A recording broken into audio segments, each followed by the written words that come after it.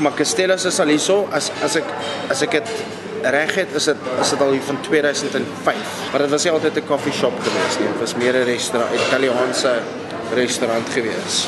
Castellos, die koffiewinkel reg oor kan die Kaapse Hooggeregshof, is slaggereed vir die wêreld se pers.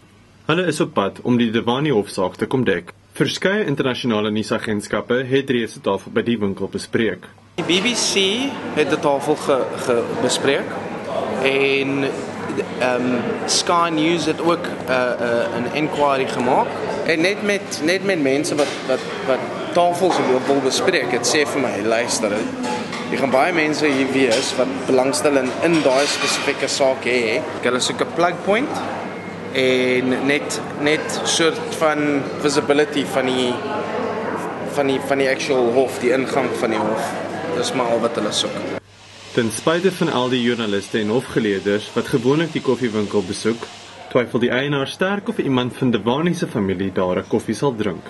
Ek meen hy is mos 'n internasionale ouetjie, so ek dink nie hy sal baie familielede en ek dink nie hulle sal hier so kom sit en koffie drink nie. Ek ek twyfel dit. Maar jy weet, ag ons moet sien.